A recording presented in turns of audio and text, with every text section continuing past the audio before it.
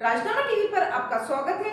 मैं प्रिया, आपके साथ। केंद्रीय वित्त मंत्री निर्मला सीतारमण ने अमेरिका के वॉशिंगटन डीसी में स्थित American think tank Peterson Institute of International Economics में देश की नकारात्मक पश्चिमी धारणा का जवाब दिया।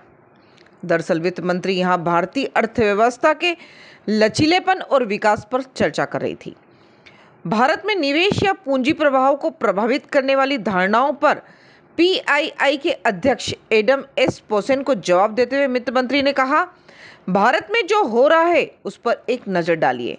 न कि उन लोगों द्वारा बनाई जा रही धारणाओं को सुने, जो ज़मीन पर गए तक ही नहीं और रिपोर्ट पेश कर रहे हैं। इस दौरान वित्त मंत्री ने कहा, मुझे लगता है कि इसका उत्तर उन निवेशकों के पास है, जो भारत आ रहे हैं और वे आते रहे हैं। और किसी ऐसे व्यक्ति के रूप में जो निवेश प्राप्त करने में रुचि रखता है, मैं केवल इतना कहूँगी आइए देखें कि भारत में क्या हो रहा है। एडम एस पोसेन ने वित्त मंत्री से यह भी सवाल किया कि पश्चिमी प्रेस में विपक्षी दल के सांसदों की स्थिति खोने और भारत में मुस्लिम अल्पसंख्यकों के हिंसा का शिकार होने के बारे में बड़े पैमाने पर रिपोर्टिंग हो रही है, जिस पर वित्त मंत्री ने अपनी प्रतिक्रिया दी।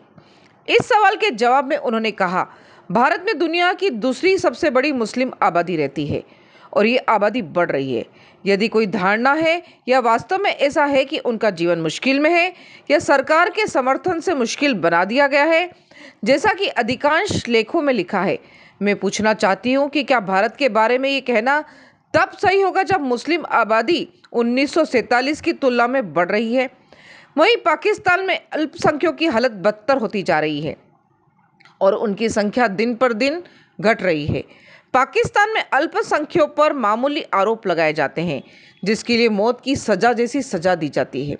पाकिस्तान के मुसलमानों की भारत से तुलना करते हुए कहा कि भारत में मुसलमान बेहतर कर रहे हैं।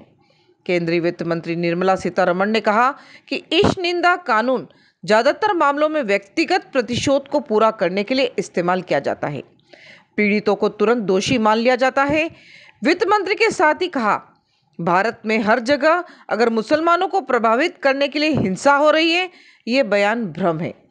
ये कहना कि ये सब भारत सरकार का दोष है तो मैं कहना चाहूँगी, मुझे बताओ, क्या साल 2014 और आज के बीच जनसंख्या कम हो गई है? मैं उन लोगों को भारत आने के लिए आमंत्रित करूँगी, जो ये रिपोर्ट लिखते हैं। मैं उनकी मेज़बानी करूँगी, उन्हें भारत आने दीजिए और अपनी बात साबित करने दीजिए। इसी के साथ वित्त मंत्री ने कहा आपके पास हमसे मदद मांगने के हर व्यवसाय हैं। या हर व्यवसाय के बारे में बोलने के लिए हर मुद्दे पर आपको रचनात्मक भूमिका निभाने की आवश्यकता है। वित्त मंत्री ने विश्व व्यापार संगठन से और अधिक प्रगतिशील होने का आग्रह किया। उन्होंने कहा, मैं चाहती हूँ कि डब्ल्यू अधिक प्रगतिशील हो। सभी देशों को अधिक सुने और भी अधिक निष्पक्ष हो। इसमें उन देशों की आवाज़ को भी जगह देनी होगी जिनके पास कहने के लिए कुछ अलग है। और न सिर्फ़ सुनना है, बल्कि ध्यान भी देना है। इसी के साथ बने रहिए राजनामा टीवी के साथ। धन्यवाद।